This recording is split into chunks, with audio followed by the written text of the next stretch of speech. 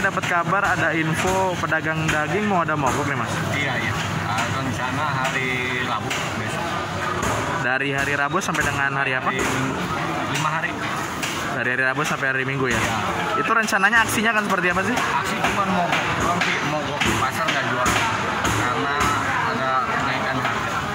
Jadi seluruh lah, seluruh lapisan dari ini asosiasi pedagang daging semua dari atas sampai ke bawah. Oh mereka kan rencananya dari pedagang, dari pemotongan pun akan berhenti mogok ya. Ya, mogok semua lima hari rencana. Tapi kalau dari konsumen sendiri ada yang mengeluhkan nggak sih mas dengan harga? Ada keluhan juga, kita juga yang jualan bingung dari atas naik kita ke bawah belum tentu bisa naik. Oh begitu. Jadi kasihan juga mau konsumen.